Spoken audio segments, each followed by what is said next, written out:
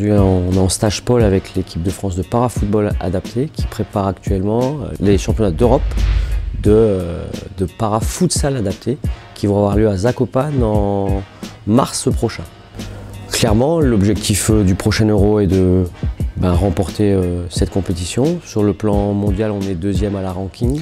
Effectivement, les adaptations sont plutôt sur la pédagogie, sur la façon de pouvoir aménager le milieu, pouvoir aborder les principes avec un peu plus de temps, un peu plus d'explications, mais dans le fond, euh, ben, on, parle quand même toujours de la même pratique, à savoir euh, le football. Donc euh, effectivement, ça demande des spécificités dans la prise en charge, mais ça en reste avec un fond commun. Honnêtement, moi je pense que je suis, comme les autres. J'ai surmonté toutes mes difficultés jusqu'à là en fait, tout en travaillant à chaque fois.